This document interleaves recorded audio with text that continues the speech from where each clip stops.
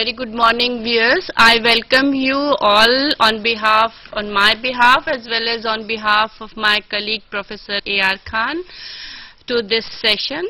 Today's topic of discussion is agrarian system under the Delhi Sultans.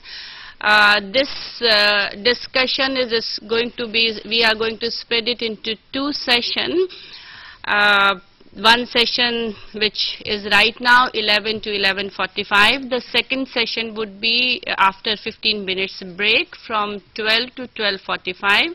In these two sessions, we are going to discuss the entire agrarian system as it worked under the Delhi Sultans the major components of the agrarian uh, policies that we are going to, or system that we are going to discuss uh, would be, uh, first component would be the agrarian production, agricultural production, then the nature and pattern of land revenues extraction, and who were the intermediaries or through which uh, process or through which machinery the state was extracting the land revenue and what was the impact overall impact of the entire agrarian policies of the Delhi Sultan on the agrarian economy. So all these components we are going to discuss in uh, these two sessions. As far as uh, with the establishment of the Delhi uh, Sultanate, a new, a sort of new political ideas and political institution came into fore. Though the historians have viewed uh, the um, Delhi Sultanate from different perspectives. If we see uh, Lalan, Professor Lalanji Gopal has emphasized that with the coming of the Delhi Sultans, the party in India begins. Similarly, Professor K.S. Lal has emphasized that with the coming of the Delhi Sultans or the Turks, it is the India's population reduced to one-third. The another perspective that is presented by Professor Muhammad Habib, he is speaking about the changes uh, that were brought out by the uh, Delhi Sultans were so drastic that he is uh, using the word urban revolution and rural revolution in this in this context. So important point that Muhammad Habib is uh, pointing out that uh, as far as the Delhi Sultanate is concerned, it was not just mere continuation of the old system. There were certain changes that were being brought during the uh, by the Turks uh, that he calls for that he is using the word revolution.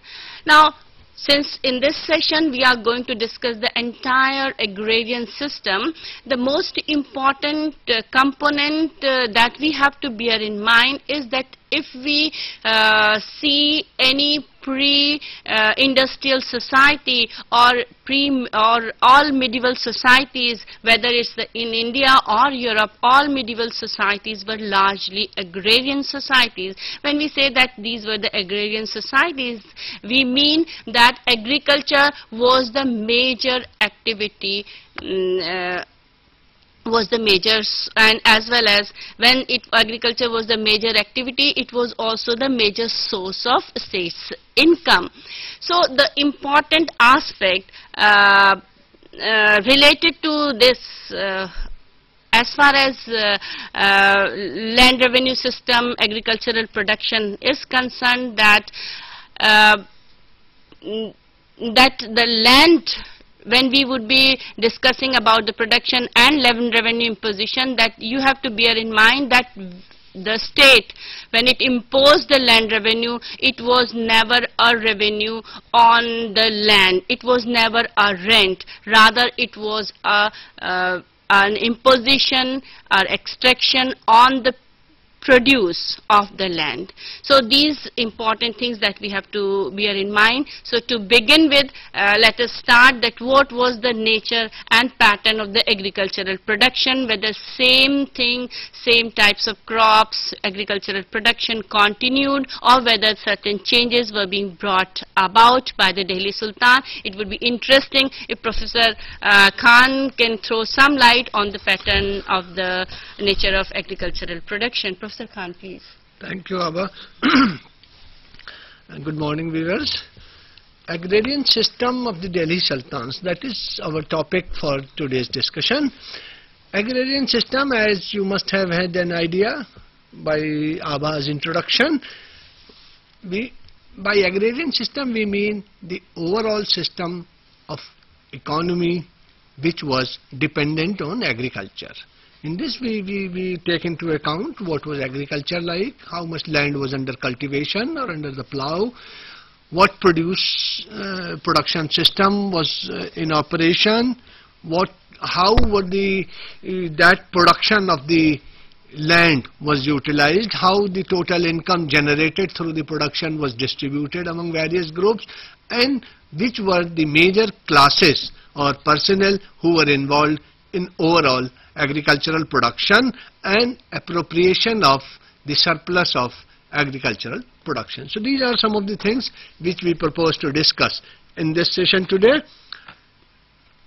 Let us start with the extent of cultivation. What was the land under the plough? Can we have a real estimate about the Delhi Sultanate? That is the period from around the beginning of the 13th century to the middle of the 15th, uh, 16th century around. Uh, classically to 1200 to 1526 period is called the period of the Delhi Sultans. During this period it is very difficult to esti estimate the exact land which was under the plough. We can have just an idea that uh, if we compare it with the uh, figures available for the later period or the territories which were inhabited or the number of villages, there can be a number of indicators to suggest whether land was increasing or not, but it is difficult to say exactly how much land was under cultivation at that time. A rough estimate, uh, a rough idea can be had from overall land revenue. We have those figures also available for the Sultanate period that how much revenue was collected.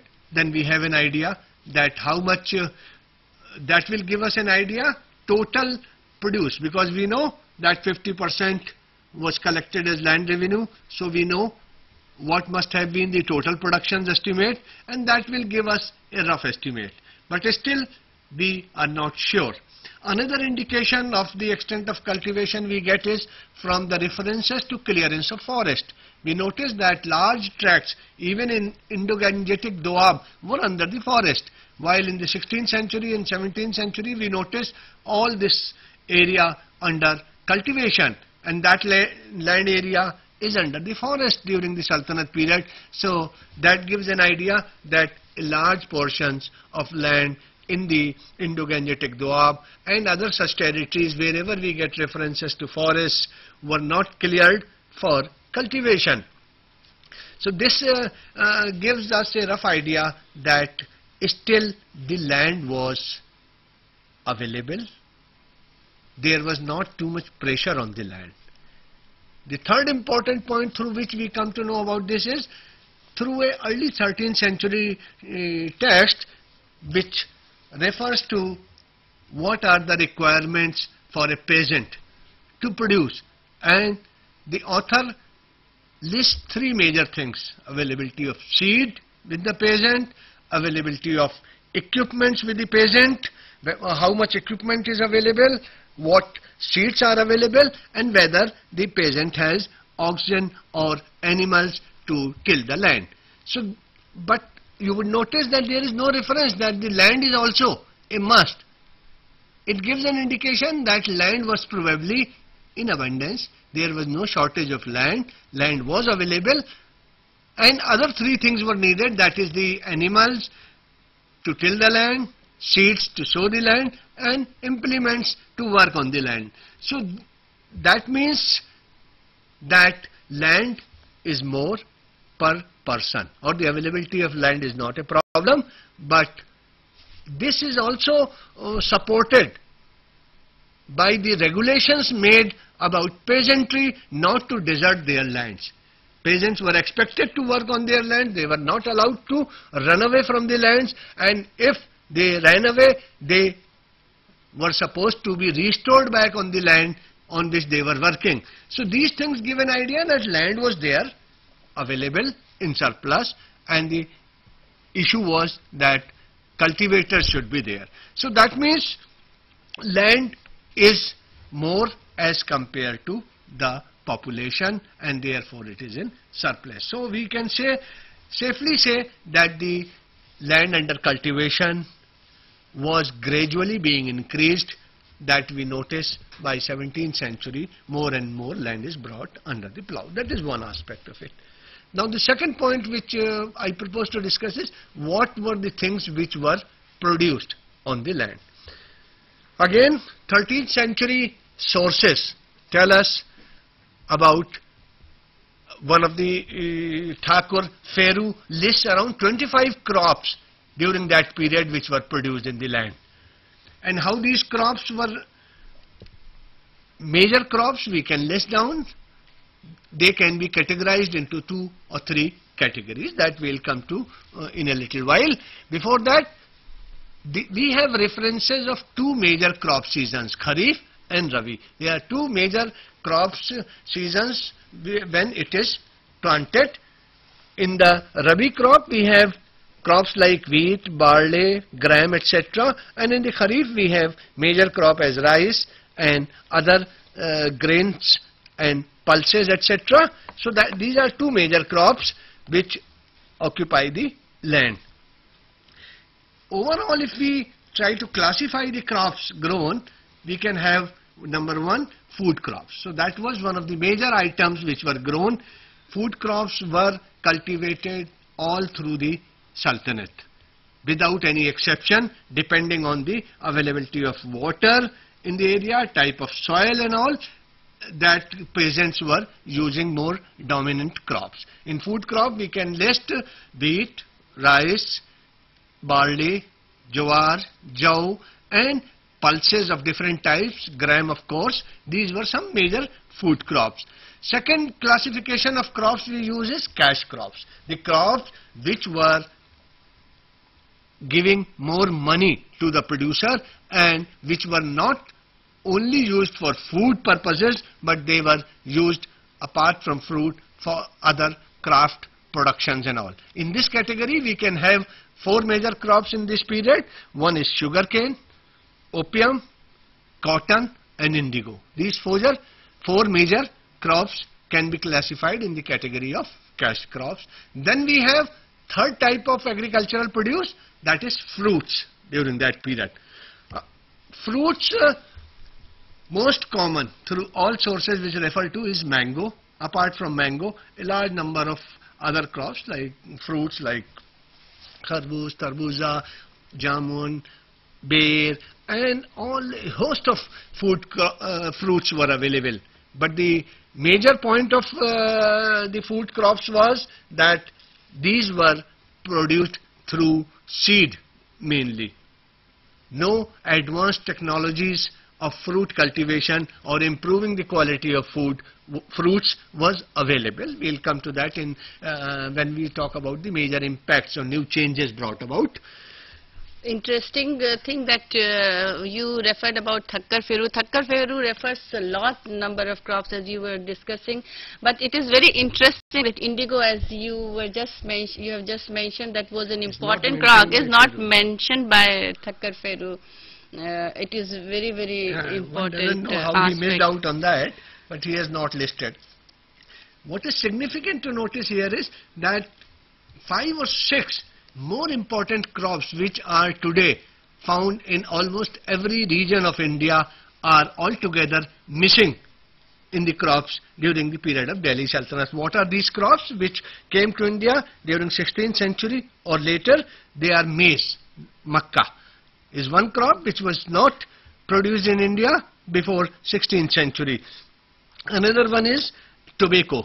Tobacco is also among the cash crops is not noticed during the Sultanate period. Similarly, potato or aloo which is so common in India these days was not being produced during the Sultanate period. It came from outside. Even tomato and, introduced tomato, much later. chili and groundnut. So these six major crops which are so common to India nowadays were not available during the period of Delhi Sultanate and they were introduced gradually by various people coming from outside, some from Latin America as potato reached all over the world through that route and similarly chilies and maize is a doubtful origin how it came to India but it definitely came during 16th century only.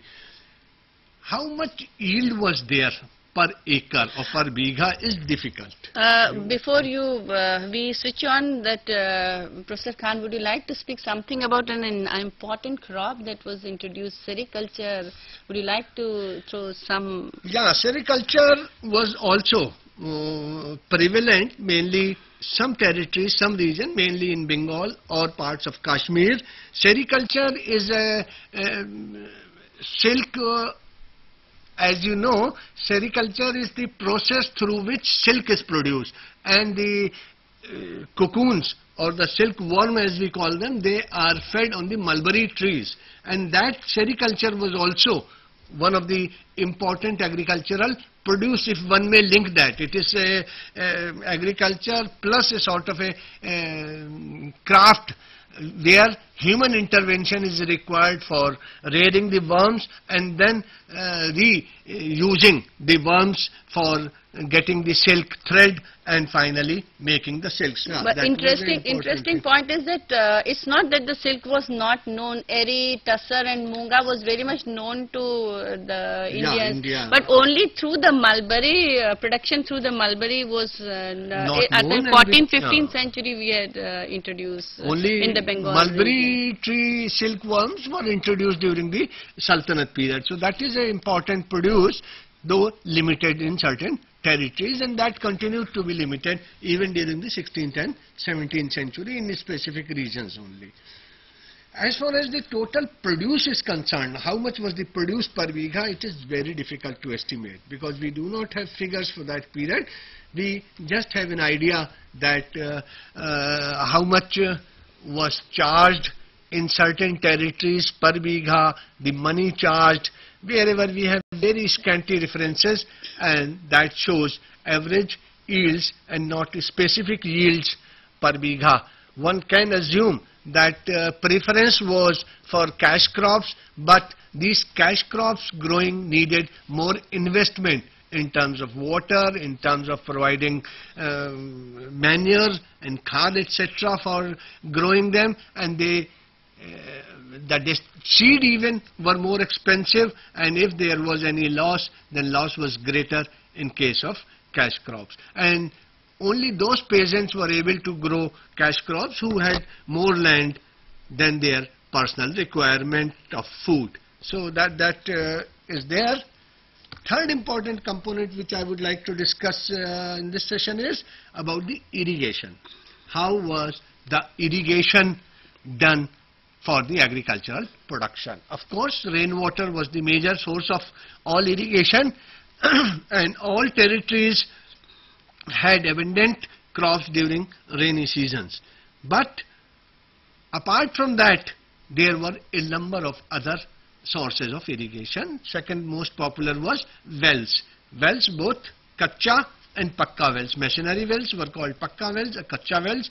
Wherever Kacha wells were used where the water table was very high and one need not dig very deep and if you are digging very deep then you need to have masonry well so that land does not caves in and you have regular supply of water. So these wells were used.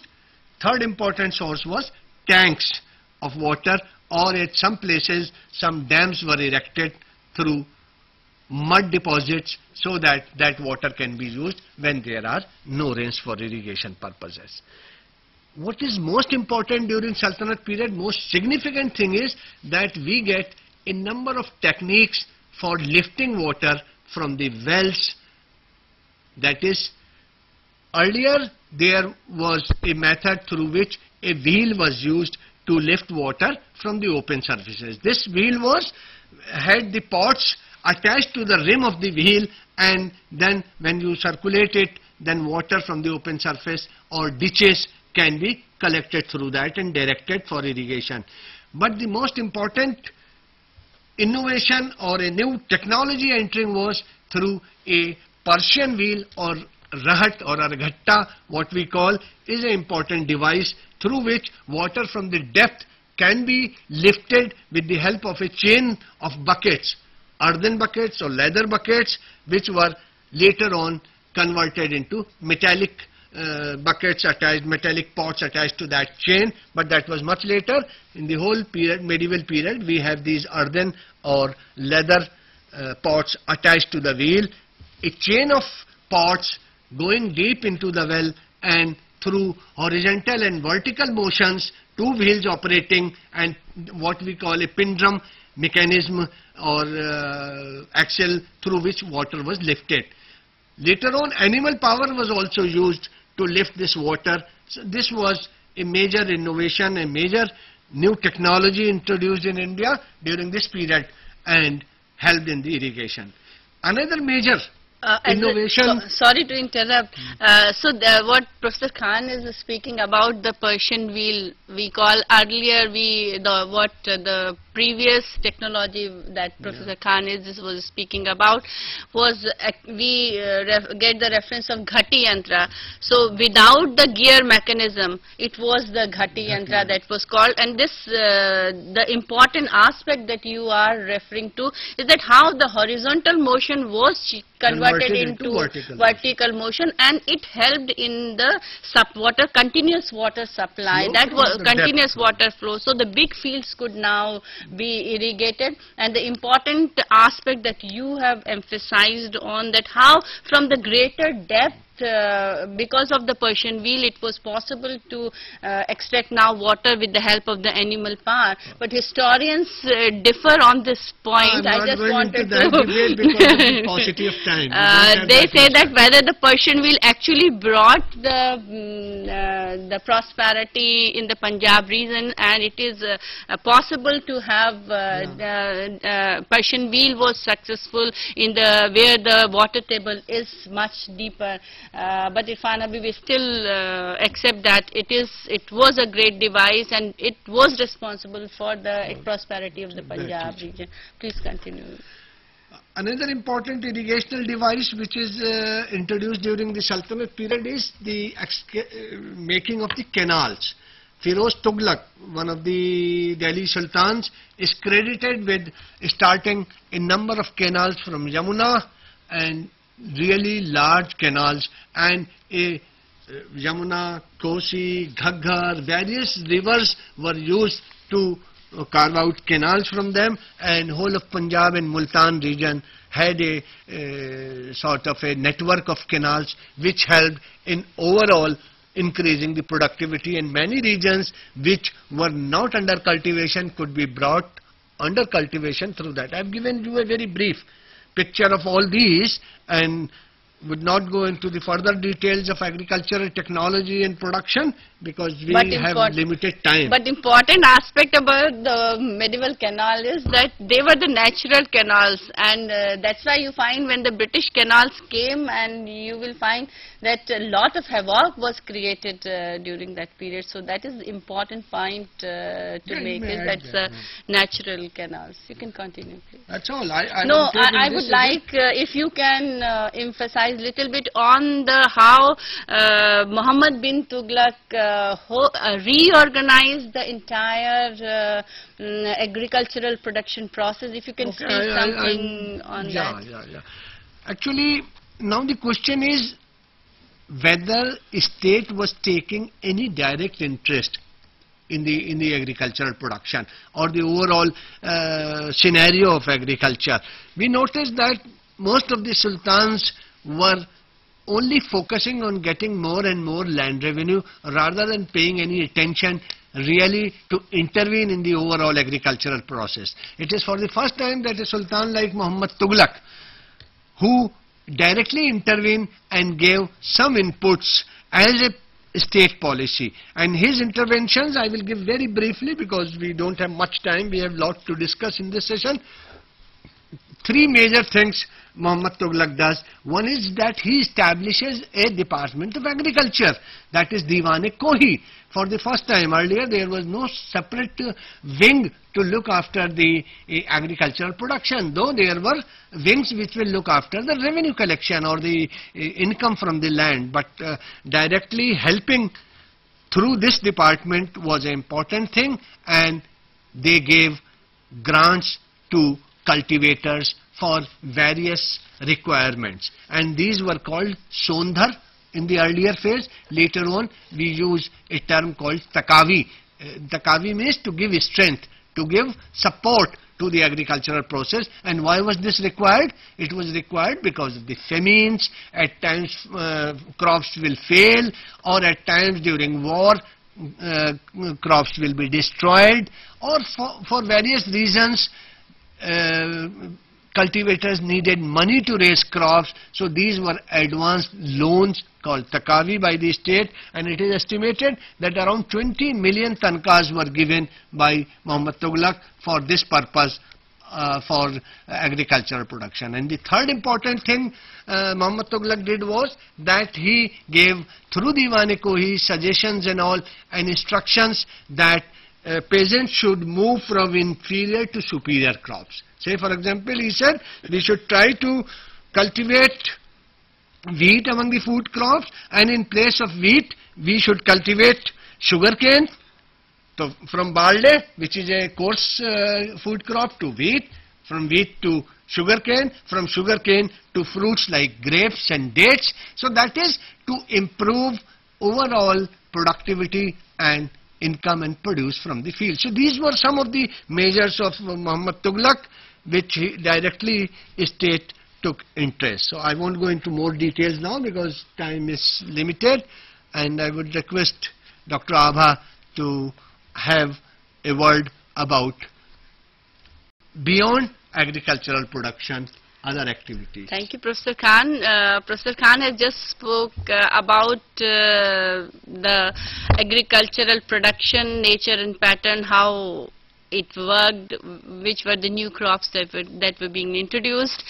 Now the another important component uh, of the agrarian system is that what were the pattern and nature and pattern of the the assessment and extraction of the land revenue. I would like to focus little bit on uh, on on this aspect of assessment and extraction of the revenue under the Delhi Sultans.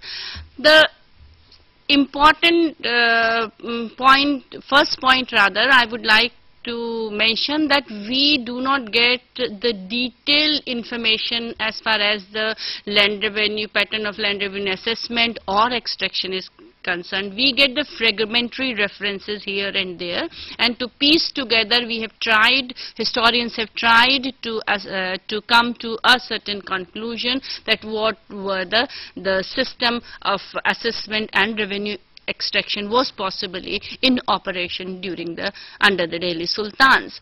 Now, uh, as far uh, as far as the initial years of the Delhi Sultanate, Sultanate establishment of the Delhi Sultanate is concerned, uh, if we uh, I can call them the early Delhi Sultans, uh, we do not accept that the reference that Minhajus Siraj historian of Iltutmish reign, he mentions about that how the revenue was extracted, uh, uh, was being extracted in the form of the tribute, the Ranas, Ra Rautas, and the Rajas rise, he uses the word, were being subdued and they were being asked to pay a summary, uh, a, a, lump sum amount in the form of the tribute. So probably the early Delhi Sultans, Iltutmish and Balban were more focused, were in more uh, interested first to consolidate the political gains of the Delhi Sultanate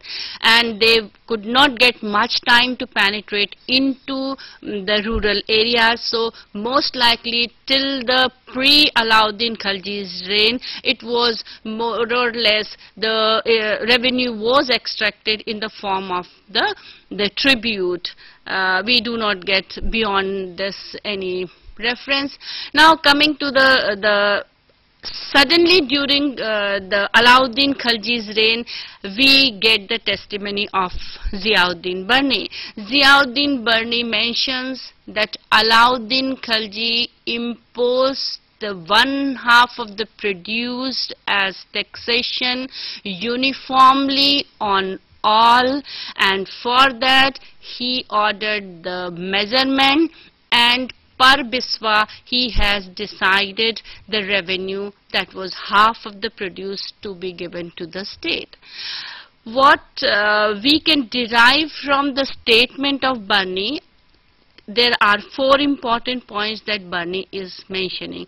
First important point he is referring to that the taxation was imposed uniformly on all classes, all rural classes. The second point he was he, he has referred to that the measurement, he ordered for the measurement of the land. This is very, very important. And once, the third important point he is referring to that once the measurement is done, per biswa means per unit of the area was being assessed that how much the yield on different crops per unit of the area was, then it was being multiplied to the total area cultivated in a particular crops and accordingly they have arrived at what would be the half of the produce that they were supposed to pay to the state. So these are the important points that uh, Ziauddin Barni was uh, pointing out so that Alauddin Khalji have imposed half of the produce uniformly measurement was being brought into and as a result, uh, Barni uses the word uh, that uh, he has introduced these measures so that the burden of the strong should not fall upon the weak. We will come to this point a little later. Professor Khan would like to speak something on that. Uh, mm, but uh, Alauddin Khalji has imposed one half of the produce. But along with this land revenue, he abolished all other taxes but he, he Barni also refers that he imposed two more taxes that is Ghari that was a house tax and the second was the charai that was the grazing tax. This was also imposed uniformly. After Barni, we after uh, Alauddin Khalji's reign, we do not get much of the information. Then during Muhammad bin Tughlaq, again Barni refers that Muhammad bin Tughlaq imposed the revenue so rigorously and he has enhanced the revenue in the proportion of 1 to 10 to 1 to 20. We are not sure that whether it is just a rhetoric in which the Barni is referring to, but uh, he is referring to uh, to the enhancement during Muhammad bin Tughlaq's reign. Apart from Barni, another authority during Muhammad bin Tughlaq's reign who refers about uh, uh, the land revenue system of the of, as it was in operation during Muhammad bin Tughlaq's reign was Yahya bin Ahmad Sarhindi. He refers to two important points. One, he says that the Ghari and Charai were being imposed so rigorously that he asked the um, officials to check each and or to count each and every house. So the rigor was there. Ghari and Charai as we I have just mentioned that were in operation were imposed by Alauddin Khalji also. So the rigor was there in Ghari and Charai. The second important aspect that Yahya bin Ahmad Sarhindi was speaking about was that the uh, he is using the word the Persian terminology that he has used that the while extracting the land revenue he has used the wafahae farmani that means the officially decreed yields and Nirakhe Farmani that officially decreed prices. So he had arrived at the um, one half of the produce on the basis of the officially decreed yields and officially decreed prices. On the basis of Yahya's testimony, Irfan Habib uh, concludes that probably it was not the the mm, uh, revenue was probably continued to be half of the produce, but the, it was the rigor with which Muhammad bin Tughlaq uh, imposed. That was one of the reason for the hardship of the uh, of the uh, mm, peasants. So because uh, the officially decreed prices and officially decreed yields were naturally much much higher uh, as compared to the uh, to the to the actual yields and actual actual prices that were in operation So, Dr. Abha, I think uh, we need to slightly elaborate on this point. Uh, say, for example, what uh, is final distinction between what Alauddin was doing and what Muhammad Tughlaq did, so that there was a hue and cry. Uh, so, as you said, Irfan Habib feels that it was uh, mainly the rigors of collection. And why it became rigorous for collection? Standard yield. Standard So yield. what is actually what was happening under Alauddin Khalji when he brought under uniform cultivation? What is happening is that the actually land is being measured and actual yield is being observed. What is the upaj or yield of that area? And that can be different. For irrigated land, non-irrigated land and all yield will differ. And actual yield, then they will decide that 50% will take. And what Muhammad Tughlaq is doing, it is very difficult for a state to constantly monitor the lands. Where actually it is being produced, how much being produced and then do it. So it was convenient for them that sitting on their offices they can say yield is this much. Officially declared that uh, wheat will be 3 maunds per bigha and then officially you estimate actual yield might be only one and a half bigha maunds. So that way if you officially estimate and fix that will be much higher and peasants will not be able to pay. That's why the peasants were the great And the sufferers. devastation is And- and we- I think because, we talk about it. Uh, uh, Professor Khan will uh, discuss about the, there was because of uh, all these uh, policies of Muhammad bin Tughlaq, you all know that there was a great uprising of uh, in the of the peasants uh, in the region of the Doab. That will point will come little later. So uh, the important aspect uh, that Professor Khan and I was discussing that how the, it was the rigor and the official uh, decreed prices and yield probably were the major reason for the im, for the uh, greater suppression of the peasants and that's why the uprising then uh, after Muhammad bin Tughlaq, then uh, we come uh, to uh, the references that we know about is uh, from the reign of Firoz Tughlaq. Firoz Tughlaq did, did try to ease out uh, little bit what Muhammad bin Tughlaq did and he abolished all the cesses, confining it to 4%. And the important the change that he brought about in the uh, structure of the the land revenue was that up till now till Firoz Tughlaq's reign uh, the land revenue that was the word the Persian terminology that was used for land revenue was kharajo jizya. Now he separated kharaj that is land revenue and jizya Along with this, he abolished Ghari and Charai, that the two major taxes that were being uh, imposed by Alauddin Khalji continued under Muhammad bin Tughlaq, so he abolished. Professor Irfan Habib uh, believes that uh, what Firoz Tughlaq did was uh, that it was uh, jizya was introduced in the form of new tax but it was not bringing additional burden in the sense because probably the jizya was replacing the gharai uh, the ghari that is the house tax because jizya was um, with jizya uh, the women and children were exempted and it was uh, imposed on per house basis per individual from the individuals uh, individual house. So uh, it was probably uh, replacing uh, the mm, the ghari uh, tax uh, itself.